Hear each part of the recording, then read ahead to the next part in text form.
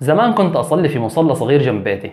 عمله واحد من فاعلين الخير في مبنى سكني. يعني أخذ جزء من مواقف السيارات وعمله مصلى. ومع أنه المصلى كان صغير لكن صوت الإمام كان جميل جدا.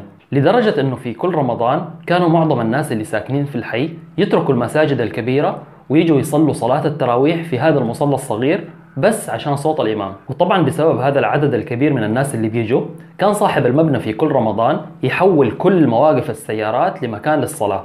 يمنع دخول السيارات ويفرش المواقف كلها سجاد ويحط مكيفات كبيرة بس عشان صلاة التراويح. الغريب في الموضوع إنه في اليوم الأول من رمضان لازم أروح قبل أذان العشاء أقل شيء بربع ساعة عشان ألاقي مكان أصلي فيه. بعد كم يوم يصير لو جيت مع أذان العشاء ممكن ألاقي مكان. بعد أسبوع تخلص صلاة العشاء وتبدأ صلاة التراويح ولسه في أماكن فاضية. بعد أسبوعين يشيلوا السجاد اللي حطوه في مواقف السيارات ويشيلوا المكيفات ويصير عدد الناس اللي بيجوا للصلاة يكفي إنهم يصلوا داخل المصلى الصغير. وهنا الموضوع بدأ يحير علماء الحارة. ليش في أول أيام رمضان كل هذه الزحمة على الصلاة؟ ويوم بعد يوم يخف العدد ويبدأوا يختفوا الناس مع إنه الإمام نفسه ما تغير. بعد دراسات طويلة اكتشفوا أنه في بداية رمضان يكون مستوى التحفيز مرتفع عند الناس لأنه جالسين 11 شهر بيستنوا رمضان يجي. لكن يوم بعد يوم يبدأ ينقص هذا التحفيز لحد ما يختفي عند كثير من الناس حتى قبل ما ينتهي شهر رمضان. درس مهم جدا نتعلمه من رمضان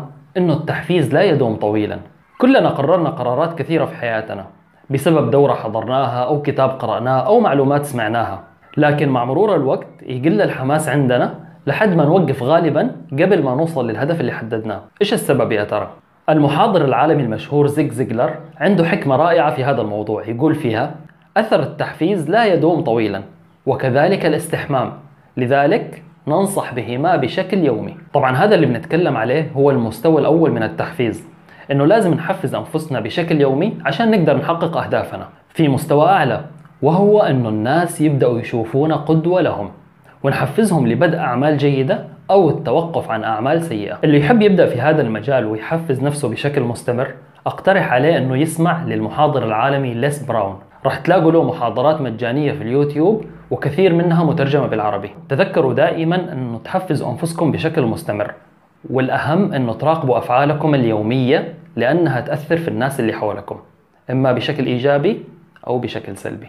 إذا عجبتكم الحلقة أتمنى أنكم تنشروها ولا تنسوا تشتركوا في القناة عشان توصلكم الحلقات الجاية. في أمان الله.